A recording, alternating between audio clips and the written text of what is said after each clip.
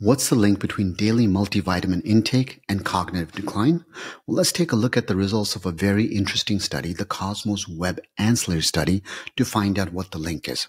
As always, I'm Dr. Sean Hashmi. Welcome back to my channel. This is the Self Longevity Blueprint. And on this channel, we talk about everything related to aging longevity. There's no hype. There's no gimmicks. We present you with the latest and greatest science to help you make better decisions. So with that, let's dive into this study here. So the first thing is, is this was a study that was published in the American Journal of Clinical Nutrition, just came out. It is a randomized clinical trial, and that's why I got excited about it. Anytime we see a randomized clinical trial, these are very expensive trials, very difficult to do. And in the field of nutrition, they hold a lot more weight simply because we rely so much on population based studies. So the details on this study was they had about 3,500 older adults. They were randomly assigned. The first arm, which is the treatment arm, was a daily multivitamin. In this case, they picked Centrum Silver and the control arm or the placebo arm was the other arm. Now, the study lasted for about three years going on, and their exclusion criteria for being in the study was age. So if you were less than 65 for a female or less than 60 for a male, they didn't include you in the study. If you had a history of an MI or stroke, they didn't include you in the study. If you had a diagnosis of invasive cancer within the last two years, they didn't include you. Now, if you were unwilling to stop taking your current multivitamins or vitamin D or calcium, etc., going on, of course, they wouldn't include you.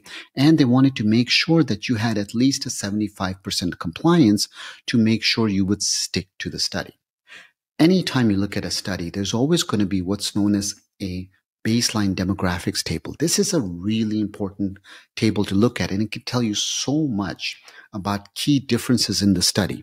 So in this particular one, the biggest difference I want you to notice is in the race section where the study is predominantly white. In fact, 93% of the participants in the study are white and everybody else is in the other categories. So what did they do in this testing? Well, they did something called the ModRey task. Essentially, what it was is they created a learning task. So the participants saw a list of 20 words. Each word was presented one at a time, lasted three seconds, and the instructions were you had to try to remember the words. So the way they tested recall was once the 20 words were presented, they had immediate recall. And then there was a 15 minute delay, and then they had the recall done again to see how the people performed. So, what were the findings? Well, performance on the ModRey after one year of multivitamin intake versus placebo. The multivitamin group started with about 7.1 words recall at baseline, and they increased to 7.81 words. The control group started at 7.21 words and they increased to 7.65 words. So just a slight increase on the multivitamin group going on. This is a very small difference. The other thing was that in terms of their, you know, we call this fancy accounting, but in terms of their assessment, so they looked at this data and basically they calculated that the effect of taking a daily multivitamin was about equivalent to 3.1 age related multi change years going on. So, in other words, you were able to reduce your age related decline by about 3.1 years by consuming a daily multivitamin. So, let's get into a little bit of the discussion portion of this. So, what is it that you want to take away from this study? First, the overall effect size is small. Now, even though that's the case, and everybody will tell you we need more studies, we can't really wait for more studies because by the time they come out, it will be 20, 30 years and who knows where we're all going to be. So you have to make an educated decision based on where you're at.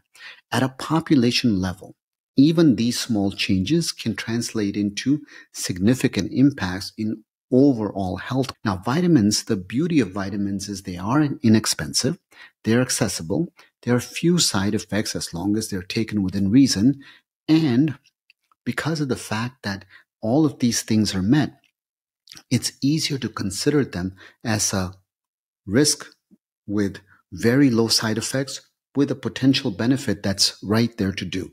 So, in other words, vitamins could be a simple therapeutic choice to be used. Now, in terms of this particular study, what's interesting is, is this study is showing an immediate improvement or an improvement in immediate recall going on. Why should you care? Because immediate recall, which is controlled by the hippocampus, it's part of normal aging. So even if you don't have cognitive decline that could be related to diseases, just part of aging means taking a multivitamin could potentially have a small benefit in terms of slowing that rate down.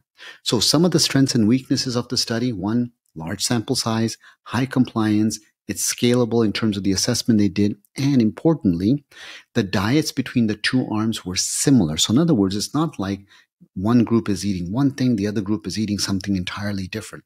So those are the strengths. On the limitation side is once again, the study is mostly whites. So can you generalize it to other groups? Don't know. It's looking at short-term memory, but really trying to look for longer-term memory and what does that decline look like? But once again, you would really need a study that's lasting years and possibly even decades going on. So keep that in mind as you're thinking about this. And another thing is, is neither group showed a decline in cognition. In fact, both groups got better. The vitamin group actually got better slightly more. So what's the bottom line? What can you take home away from this? It's very simple. If you decide to take a vitamin, the risk versus reward profile does look good in the sense that the risk is small and there is some reward associated with it. There you go. If you want to wait for more studies to come out, there's more studies that are already out showing the benefits of multivitamins. The effect size is once again small. As always, I want to thank you guys so much for checking out this video. If you like it, hit that subscribe button. I would love to hear your questions, comments, and topics for future videos. And as always, if there's an interesting study you find, let me know and I'll be sure to talk about it next time. Thanks, guys.